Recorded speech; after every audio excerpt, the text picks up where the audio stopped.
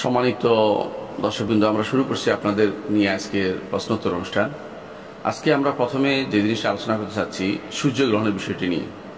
কারণ এটা একটি প্রাকৃতিক একটি নিদর্শন। এটা নিয়ে আলোচনা করা দরকার। এই জন্য অনেকেই এটা যখন আসে, তখন বিভিন্নভাবে এটাকে তারা চিন্তা করে এনজয় চিন্তা করে। কীভাবে এটাকে উপভোগ করবে? কেউ কেউ বিভিন্ন মহাকাশ যেখানে দেখা যায় মানে দেখ- দেখার জায়গাতে যায় বিভিন্ন জায়গায় গিয়ে সেটা দেখার চিন্তা ভাবনা করে বা সেটা কী হয় মনে করে এটা একটা কিছু হচ্ছে। মানে এটা যে একটা আয়াত আয়াতিল্লা আল্লাহ নিদর্শন রসুল্লাহ সাল্লাহ যেটাভাবে বলেছেন সেভাবে তারা নেয় না।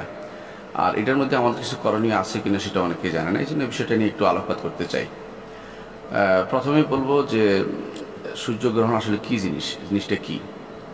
আরবিতে দুইটা শব্দ আছে, খুসুফ এবং কুসুফ। কুসুফ হলো সূর্যগ্রহণ আর খুসুফ খা দিয়ে যেটা, খ দিয়ে যেটা, এটা হলো চন্দ্রগ্রহণ। তো দুইটা একটা একটা জায়গায় ব্যবহৃত হয়। এই জন্য রসোল্লা সাল্লাহ হাদিসে ইনকাসাফাতি শামসু ইনকাসাফাতি শামসু দুইটাই আসছে। তো বোঝা গেল যে এটি একটি মানে আলো নিষ্প্রভ হয়ে যাওয়া। আলো নিষ্প্রভ হয়ে যাওয়া, এটা হচ্ছে মূল মূল জিনিস। আলোটা নিষ্প্রভ হয়ে যায় সূর্যের আলো, যে আলোতে পৃথিবী আলোকিত হয়ে আছে, আল্লাহ তাদের বলছে যে আলনা সিরাজ যা আমি সূর্যকে করে একটা আলো, সিরাজ আলো করে দিয়েছি, যেটা ইয়ার মতো চেরাগের মতো, এবং যেটা খুব সোয়া আল্লাহ অর্থাৎ যেটা আলো, অত্যন্ত বিচ্ছুরিত আলো, সেটা দিয়ে আল্লাহ দুনিয়াকে আলোকিত করে দিয়েছেন। এটা আলো নিভে যাওয়া এটা হচ্ছে মূলত এই নিবে যাওয়া বা এটা আলো না আসা। এটা হচ্ছে মূলত সূর্যগ্রহণের মূল জিনিস। তো সূর্যগ্রহণ কি কারণে হয়? আল্লাহ তালা সূর্যগ্রহণ রেখেছেন দুটি কারণে। প্রথম কারণ যা ইন্দ্রিয়গ্রাহ্য কারণ আমরা জানি, সেটা হচ্ছে মহাকাশগণ এখন মহাকাশ বিজ্ঞান বুঝতে পারে সেটা হচ্ছে সূর্য ও পৃথিবীর মাঝে চাঁদ এসে যাওয়া। সূর্য এবং পৃথিবীর মাঝে চাঁদ এসে গেলে সেটা এই, সেটার কারণে আলো পড়ে না। তো এবং পৃথিবীর উপর আলো না পড়ার কারণে পৃথিবী অন্ধকার হয়ে যায়। এটা সবাই বুঝতে পারে এটা। কিন্তু এটার তো কোনো কারণ থাকতে হবে, এমনি না। কক্ষপথে সবগুলি তিনটি জিনিসই ঘুরে বেড়াচ্ছে। সূর্য পৃথিবী চাঁদ, প্রত্যেকে তার কক্ষপথে চলছে। আল্লাহ তালা এটাকে এত সুন্দর করে সাজিয়ে দিয়েছেন। কুলুন ফি ফালাক নিয়ে আল্লাহ তালা বলছেন তো এর মাঝখানে এটা আসার কারণে সূর্যর আলো পড়ে না। কিন্তু কেন আসবে? আল্লাহ তালা হুকুমে সেটা তার অবস্থা অনুসারে আসবে।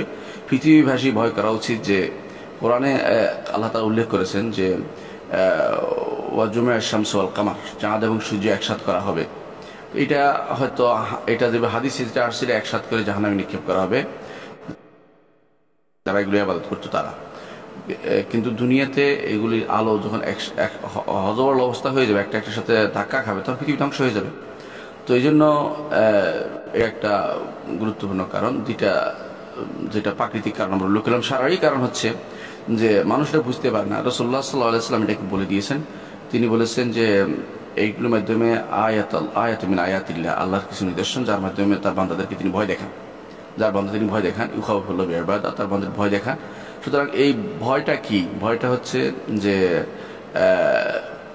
তাদের মধ্যে শাস্তি আসতে পারে, তাদের শান্তির দরজা বন্ধ হয়ে যেতে পারে তারপর ফেতনা আসতে পারে, দুনিয়াতে ফেতনা ভরে যাবে, ইত্যাদি বিভিন্ন কারণ থাকতে যে কারণে আল্লাহ তালা এগুলো দিয়ে থাকেন।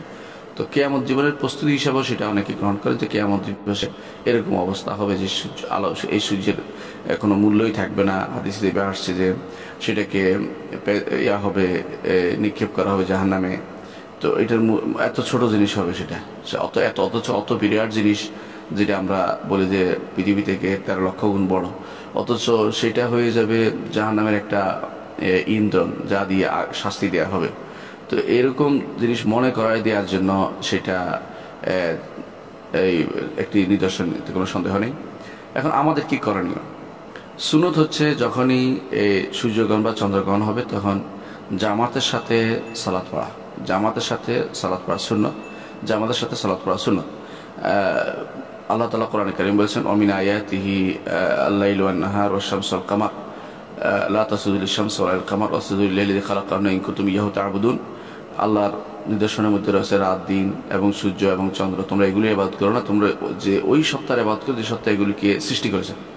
তাহলে সুরা ফুসলাতের আয়তে সাঁত্রিশ নম্বর আয়তে আমরা দেখতে পাচ্ছি যে সূর্য গ্রহণ এবং চন্দ্রগ্রহণের সময় আমাদেরকে আল্লাহ তালা তা একান্তভাবে তার এবাদতের দিকে নির্দেশ দিয়েছে। যাতে করে আমরা এগুলি আবাদ না করি, এগুলি যে কোনো সময় আলো নিষ্প্রভ হতে পারে। বোঝা গেলে নিজের থেকে কোনো কিছু করে না। এগুলো অন্য যারা পরিচালিত হয়, সুতরাং এগুলির এবার যেন কেউ না করে, যারা চন্দ্র পূজা করে, সূর্য পূজা করে, তাদেরকে যেন তা বোঝা উচিত যে এগুলিও আসলে কিছু না, এগুলি যে কোনো সময় আল্লাহ তালা এগুলিকে নিঃশেষ করে দিতে পারেন এবং এগুলি আলো পৃথিবীতে না আসলেও আল্লাহ তালা পৃথিবীকে পরিচালনা করতে পারেন। এটা যেন মানুষের অন্তরে ধরা পড়ে এবং মানুষ যেন এগুলি এবার থেকে বিরত থাকে।